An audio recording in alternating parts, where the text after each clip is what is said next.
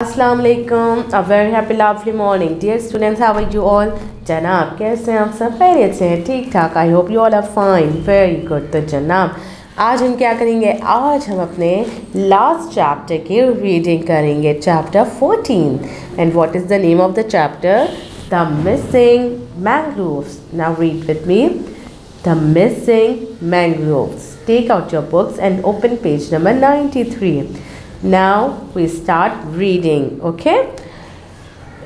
Where are the mangroves? You know that reading is very important and you have to read each and every line with me okay? So start reading. Where are the mangroves?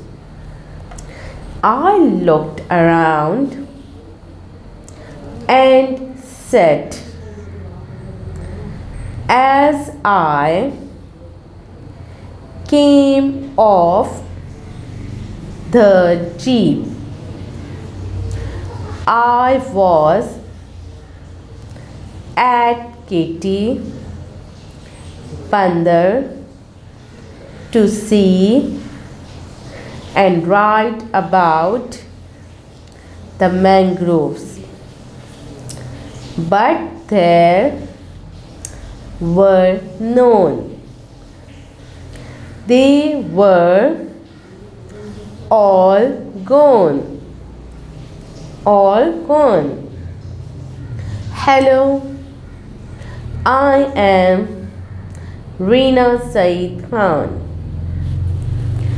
I am a journalist.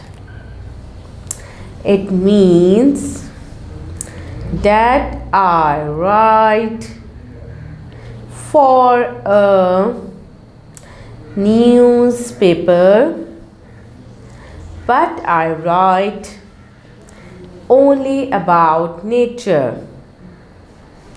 And that makes me a nature journalist writing about nature is not easy to gather information, I have to travel to far off places on foot, spending night in a tent and eat cold food.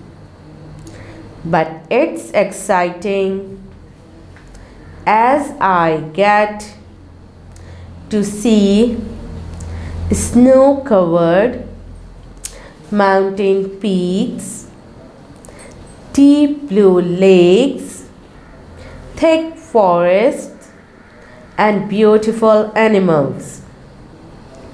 That day, I was at Keti Bandar a small fishing town by the sea in the province of Sindh.